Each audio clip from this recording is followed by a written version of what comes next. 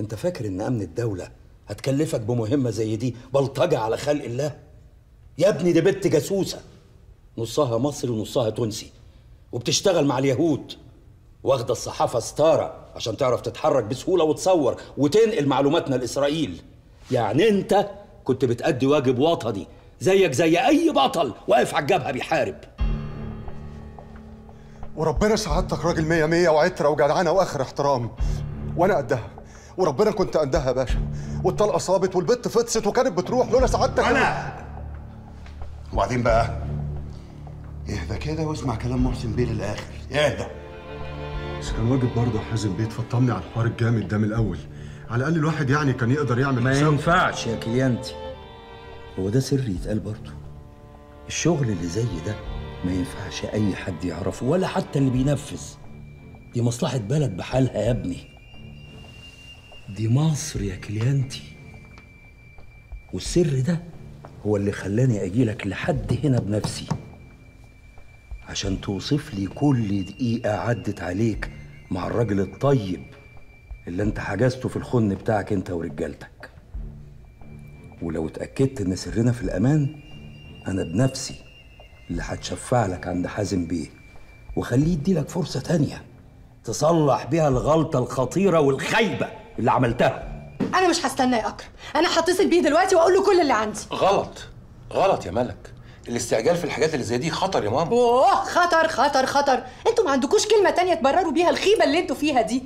البلد عمال بتتحرق وبتتباع للسفلة والسفاحين وعصابات الصهاينة. وأنتوا عمالين بتحسبوها بالورقة والقلم. ما ترد يا سليمان.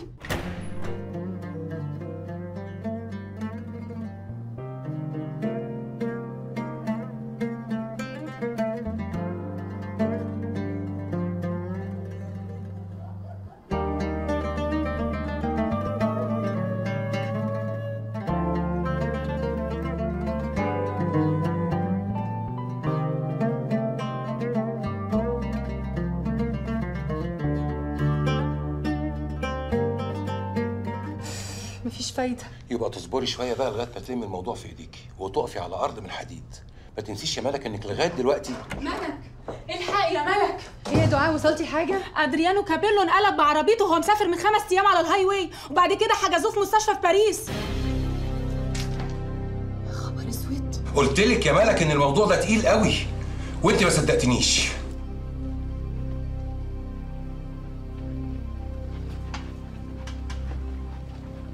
مش قبل ما اتاكد ان سليمان العريني ما عرفش اي حاجة عن الكلب ده.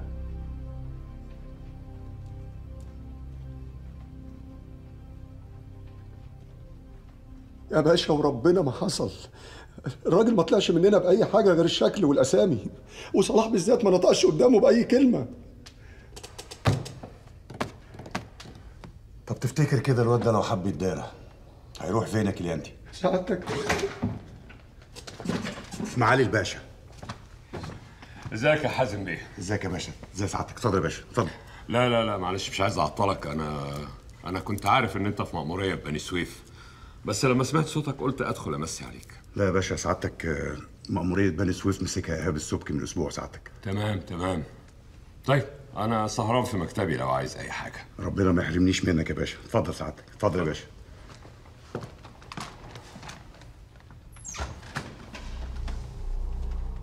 اسمع يا ابني. لآخر مرة بقول لك روحك متعلقة في رقبة البورس اللي برم منك في طريق الساحل ده. صلاح لازم يكون موجود دلوقتي قبل بكرة الصبح. غير كده أنا ما أقدرش أساعدك. وأديك سمعت الكلام اللي محسن بيه قاله وعرفت الحكاية دي واصلة لحد فين. طب سعادتك ممكن تديني الأمان 24 ساعة بس. وأنا اللي هجيبه لك بنفسي.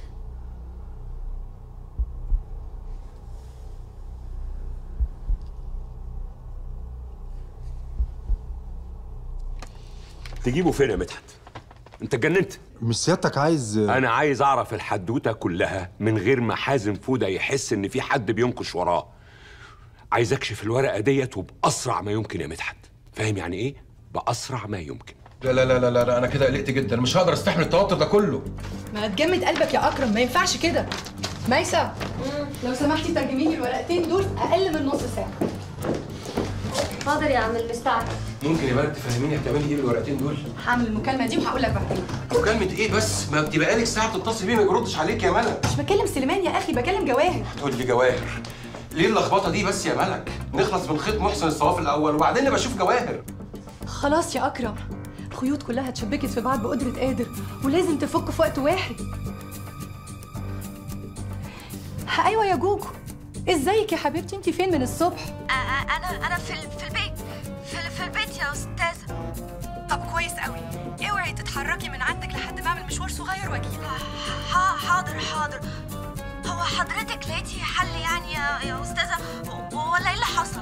أنا قلت لك هجيب لك حقك يعني هجيبه واجي لك لحد عندك. أيوه حازم بيه. شغالين سعادتك في مكالمة دايرة من أربع دقايق كده وكنا لا سامعك يا باشا. مرني. إيه يا حازم بيه. خير إيه اللي حصل؟ لا أنا عند أمين باشا لسه ما رجعتش المكتب. في حاجة حصلت؟ إيه؟ أنت متأكد من الكلام ده حازم بيه؟ طب اقفل اقفل اقفل وأنا هطلبك بعدين في إيه يا محسن؟ حازم فوده يا ريس بيقول ان مصادره في قناة مصر الحرة بلغته ان البنت شغالة على السي دي في مكتبها دلوقتي إيه؟ طب ومستني إيه؟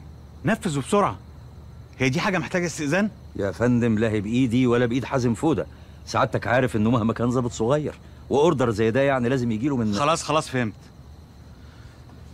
أمير تحت أمر معاليك هات لي مكتب حسن قدري بسرعة على التليفون. حاضر يا فندم. قلت لك من الأول عيلة زي دي ما تموتش وتعمل منها بطل يا محسن. دي تتحط في قفص وتسيبها تصرخ وتفرفر لحد ما تقول حقي برقبتي. امشي قدامي من سكات. انت فرد مش محترم يا زغلول. إيه هو اللي ليه؟ لا ما هو مش كل انت زايفه تعدي وتلغيك. تهج وراها على طول. ما تقوليش بقى قلبي مال ولا قلبي اتنيل انت لسه هتقاوح بقول لك إيه؟ انت محبوس في العين بتاعتك ومع المدام اللي مقسومة لك وهو ده نصيبك. كأن بقى وتهد. الله. دكتورة يا دكتورة. يا كيمو. مزمزيل شهد اتصلت بيك دلوقتي على تليفون العيادة وبتقول لك كلمها ضروري. آه طيب.